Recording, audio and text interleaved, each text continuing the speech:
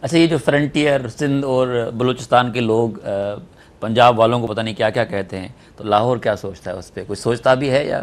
اچھا تھوڑا سا اس میں میرا اپنا کہنا جو ہے وہ یہ ہے، چونکہ اب مجھے لاہور میں بھی رہتے ہوئے کوئی پندرہ سولہ سال ہوئے، تو اس میں بات یہ ہے کہ، چونکہ ایسے ہول پنجابیوں کو برا کہا جاتا ہے نا، جب بھی بات ہوتی ہے سندھ میں بھی، بلوچستان میں بھی، بلکہ سرائے کی، کا علاقہ جو ہے وہاں بھی تو میرا اس میں کہنا جو ہے وہ یہ ہے کہ پنجاب کی جو رولنگ کلاس ہے جیسے وہاں کا آرمی ہے وہاں کی بیوروکریسی ہے وہاں کا صنعت کار ہے یہ وہ لوگ ہیں جو پاکستان میں خرابی پیدا کر رہے ہیں۔ اچھا۔ پاکستان میں استحصال پیدا کر رہے ہیں۔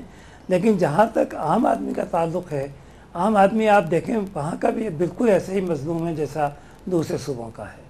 بالکل اس کی زندگی بھی اتنی ہی تلخ ہے جتنی دوسرے لوگوں کی ہے۔ تو اس لیے میرا اپنا یہ خیال ہے کہ ہمیں طبقاتی نقطۂ نظر سے صورتحال کو دیکھنا چاہیے ایز اے ہول پنجاب کو برا نہیں کہنا چاہیے۔ اچھا تو اس پہ کوئی ریئیکٹ نہیں کرتے مطلب جو نجی بات چیت ہوتی ہوگی لوگوں سے کیا بولتے ہیں کہ جی خامخواہ کا الزام دیتے ہیں لاہور والوں پہ پنجاب والوں پہ؟ نہیں ریئیکٹ کرتے ہیں۔ دو چیزیں ہیں کچھ تو ریئیکٹ کرتے ہیں اور کچھ لوگ ایسے ہیں جو خود بھی اپنے آپ کو قصوروار ٹھہراتے ہیں کہ پنجاب کا قصور ہے۔ کہ اس نے چھوٹے صوبوں کو حقوق نہیں دیے ہیں۔ اچھا۔ پنجاب کا قصور ہے کہ اس نے مثلا مشرقی پاکستان جب تھا تو اس وہاں بھی کوئی اچھا کام نہیں کیا تھا۔ پنجاب کا قصور ہے کہ وہ سندھ یا بلوچستان کے اندر یہ سب کچھ کر رہا ہے۔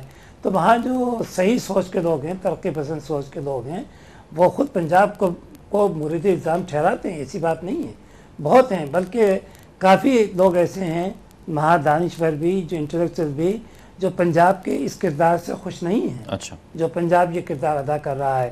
مسئلہ میرا خیال سے یہ ہے اور خاص طور سے سندھ کا ایک مسئلہ ہے کہ یہاں سے بہت کم لوگ جو ہیں پنجاب جاتے ہیں۔ اچھا۔ میرے خیال سے وہ جو ایک آپس کا باہمی تعلق ہے وہ باہمی تعلق نہیں ہونے کی وجہ سے وہ ان کا موقف آپ کو نہیں ملتا ہے آپ کا موقف ان کو معلوم نہیں ہوتا ہے۔ بہت کم میں نے دیکھا میرے اپنے جب سے میں ہوں بہت کم یہاں سے لوگ جاتے ہیں۔ اچھا جو سیاستدان جاتے ہیں نا ان کا اپنا نقطۂ نظر بالکل مختلف ہوتا ہے۔ لیکن اگر یہاں سے انٹلیکچوئل جائیں دانشور جائیں اور جا کے اپنا کیس رکھیں اور مجھے یاد ہے مثلا یہاں سے ایک مرتبہ عبدالخا عبدالخالد جونی جو ہیں اچھا۔ وہ گئے تھے ان کا ہم نے وہاں لوگوں سے تعارف کرایا۔ انہوں نے بڑے اچھی طریقے سے سندھ کا کیس پیش کیا اور لوگوں نے ان سے سوالات بھی کیے چیز کو سمجھا بھی۔ اچھا۔ تو یہ اگر چیز ہو تو میرا خیال سے ہمیں دیکھنا چاہیے کہ برائی کے ذمہ دار کون ہیں؟ اگر ہم سب کو برائی کا ذمہ دار قرار دے دیں گے تو پھر پنجاب کا نیشنلزم جو ہے اس کے رد عمل میں وہ گا۔ یہ جو پروگریسو وائس ہے جو یہ لوگ پنجاب کے لاہور کے اندر ہیں کہ جی پنجاب یا جو بھی پاکستان کے عوام کے ساتھ کر رہا ہے وہ صحیح نہیں کر رہا۔ وہ پولیٹیکل فارم میں نہیں آتا۔ اچھا اب یہ آپ کا کہنا کہ اس کا اثر کیوں نہیں ہوتا؟ بات اس میں یہ ہے کہ جن لوگوں کے پاس اختیارات ہیں جن لوگوں کے پاس طاقت ہے وہ لوگ جو ہیں ان کے مفادات کے نہیں ہیں۔ اچھا۔ اچھا اور دوسرا یہ ہے کہ عام آدمی جو ہے وہ تو آپ کو پتہ ہے کہ اس اس جو آج کل کے حالات ہیں ان میں اتنا زیادہ ڈی پولیٹیسائز ہو گیا ہے کہ عام آدمی کی اس وقت کوئی آواز نہیں ہے۔ پولیٹیکل پارٹیز جو ہیں خود جتنی بڑی بڑی جتنی پولیٹیکل پارٹیز ہیں وہ ان ایشوز کے اوپر بالکل بات نہیں کر رہی ہیں۔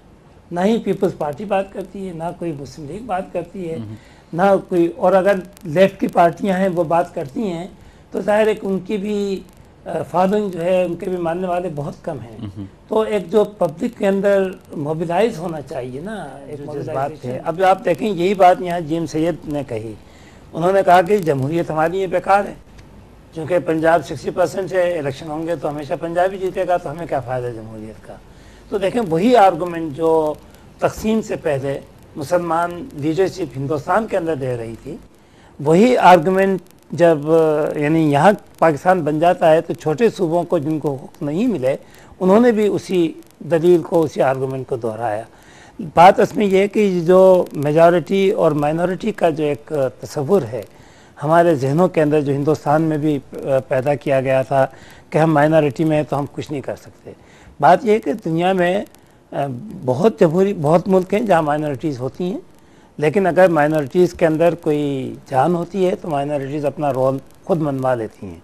لیکن اگر مائنورٹیز میں ایک تو جان نہ ہو اور ایک اگر میجورٹی جو ہے ان کو، ان کے حقوق دینے پہ تیار نہ ہو، تو ایسی سوسائٹیز کے اندر پھر توازن قائم نہیں رہتا ہے اور وہاں پہ جھگڑے، فسادات ہوتے ہیں۔ تو پاکستان میں چونکہ یہ توازن قائم نہیں رہا ہے ہمارے جب جمہوریت بھی آئی، تو جمہوریت کے آنے کے بعد بھی جو کوشش ہمارے یہاں ہوئی ہے، جمہوری حکومتوں نے بھی اور عامرانہ حکومتوں نے بھی یہ کی ہے کہ ان چھوٹے صوبوں کے اندر کولابریٹرز ہیں، ان کو تلاش کیا جائے اور ان کو تلاش کر کے ان کے ذریعے حکومت کی جائے۔ اور آپ کو پتہ ہے کہ فیوٹرز لاٹ ہو ٹرائبل لیڈرز ہوں، ان کے لیے کولابریٹر بننا آسان ہوتا ہے، وزارت مل جائے عہدے مل جائیں تو یہ لوگ اپنے آپ کو بیچنے کو تیار ہوتے ہیں، سندھ کے اندر بھی لوگ بکے ہیں اور بلوچستان کے اندر بھی بکے ہیں، پہلے بھی بکے تھے اور آج بھی بک رہے ہیں۔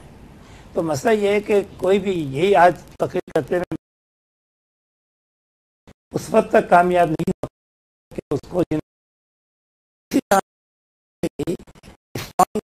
سینٹر جو ہے، اس کی کامیابی کی وجہ یا اگر آپ یہ کہیں کہ پنجاب کے جو ادارے ہیں بالادستی ہے اس کی کامیابی کی وجہ بھی یہ کلابریٹرس ہیں۔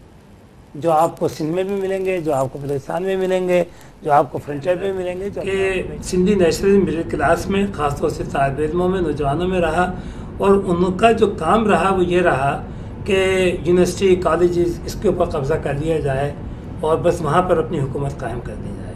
ان میں سے کوئی ایسی پارٹی نہیں تھی جو کسانوں تک گئی ہو۔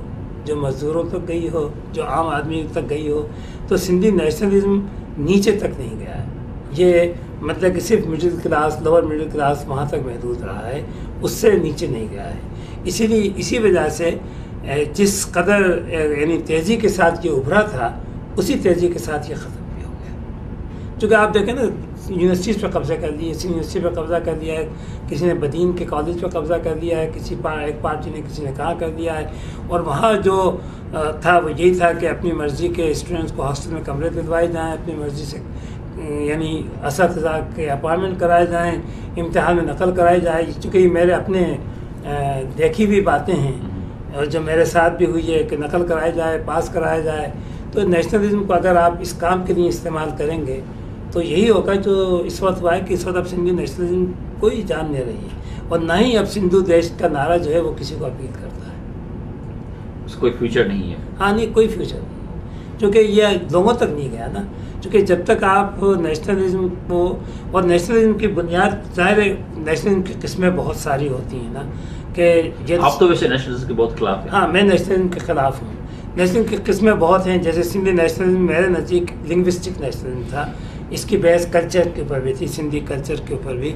لیکن اب یہ ہوتا ہے کہ اگر آپ اس کو محض محدود رکھیں یعنی صرف اپنے ایک کلاس، اپنے مفادات تک کے لیے استعمال کرے، اور اس کا فوائد اگر دوسرے نیچے طبقے کے لوگوں کو نہیں ہوں گے، تو وہ پھر نیشنلزم جو ہے اپنی وقت کے ساتھ ختم ہو جائے گا۔ اور ہوا بھی یہی ہے کہ جب وہ یعنی اس مڈل کلاس کی ضرورت پوری ہو گئی، تو انہیں پھر نیشنلزم کی ضرورت بھی نہیں رہی، فرض کی تو اس لیے اب آپ دیکھیں اس وقت سندھی نیشنلزم کوئی پازیٹیو امپیکٹ اس کا رہا نہیں نہیں سوسائٹی پر؟ پازیٹیو صرف ارلی پیریڈ میں آپ کہہ سکتے ہیں کہ تھوڑا سا پازیٹیو امپیکٹ تھا کہ لوگوں کے اندر ایک جس کو ہم کہتے ہیں شناخت کا احساس پیدا ہوا لوگوں میں کلچر کے بچانے کا احساس پیدا ہوا کہ اپنے کلچر کو بچایا جائے۔ یہ احساس ہوا کہ ہمارا کوئی ورثہ ہے اس کی کیسے حفاظت کی جائے یہ لاہور چلے گئے آپ حیدرآباد کو چھوڑ کر۔ ہاں آپ لوگوں نے رہنے نہیں دیا